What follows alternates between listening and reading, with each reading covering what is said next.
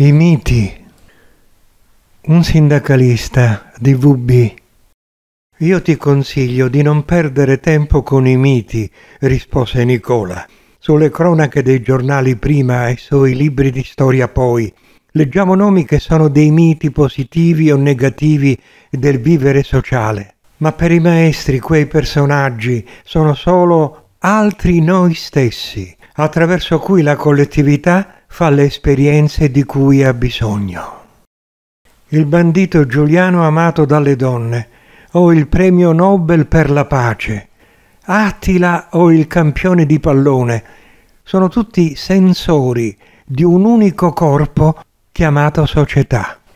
La differenza tra la massa anonima e questi suoi sensori è che i codici di questi ultimi, le loro regole vibratorie, esigevano di divenire strumenti collettivi, collettori di esperienze, punti di riferimento per la massa.